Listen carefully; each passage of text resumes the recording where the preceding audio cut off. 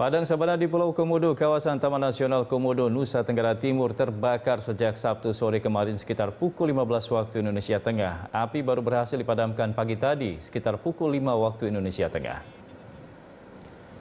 Titik api bermula dari area barat Pulau Komodo sekitar Laju Pemali dan merambat ke Gunung Majera dan Loh Letuho.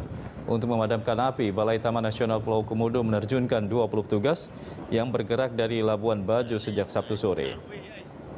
Lamanya pemadaman disebabkan oleh lokasi api yang tak bisa dijangkau alat pemadam kebakaran. Petugas pun memadamkan api menggunakan dedaunan yang ditemukan di sekitar lokasi. BTNK juga memastikan sejauh ini belum ada komodo yang mati akibat dari kebakaran itu karena lokasi kebakaran bukan area yang banyak ditempati komodo.